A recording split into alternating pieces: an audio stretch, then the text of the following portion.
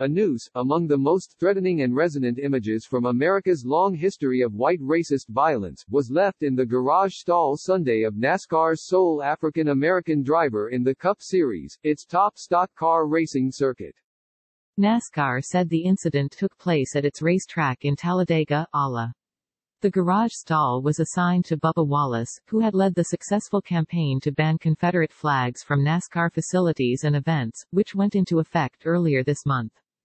In a statement, Wallace said, Today's despicable act of racism and hatred leaves me incredibly saddened and serves as a painful reminder of how much further we have to go as a society and how persistent we must be in the fight against racism.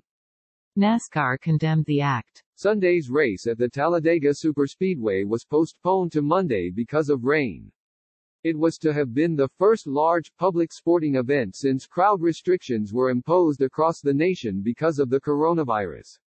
Some 5,000 spectators were permitted in a venue that seats about 100,000. It was also the first test of NASCAR's ban on the Confederate flag. Within the speedway, the ban appeared to be successful. But outside, a rolling protest of vehicles flew large Confederate banners, and merchants were selling souvenirs with the flag's image.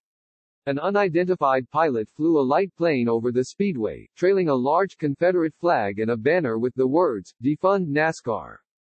Together, Wallace continued in his statement, Our sport has made a commitment to driving real change and championing a community that is accepting and welcoming of everyone.